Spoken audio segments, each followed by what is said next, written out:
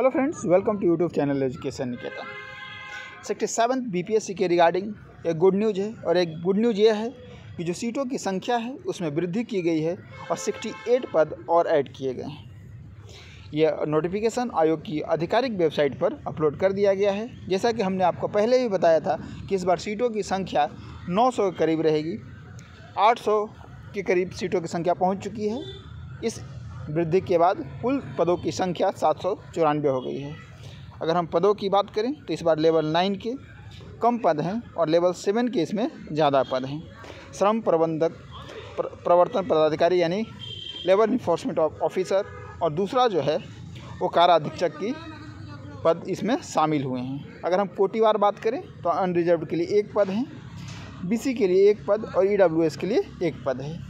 कुल पद तीन हैं लेवल सेवन के जो हैं, कुल सिक्सटी फाइव पद हैं, जिसमें अनरिजर्व के लिए ट्वेंटी फाइव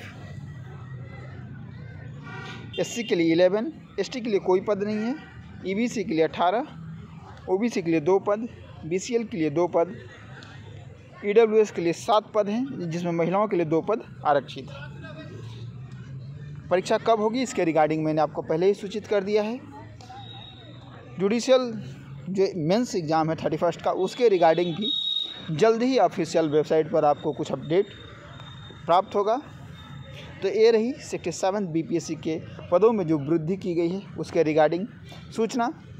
अगर आप इस तरह की, की सूचना प्राप्त करना चाहते हैं तो हमारे इस यूट्यूब चैनल को लाइक करें। अभी तक आपने सिक्सटी सेवन बी की कोई भी टेस्ट सीरीज़ ज्वाइन नहीं की है तो एजुकेशन निकेतन की जो ऐप है गूगल प्ले स्टोर से उसे डाउनलोड करके आप टेस्ट सीरीज़ को परचेज़ कर सकते हैं। Eleven full length test series मात्र टू हंड्रेड फिफ्टी रुपीज़ में है।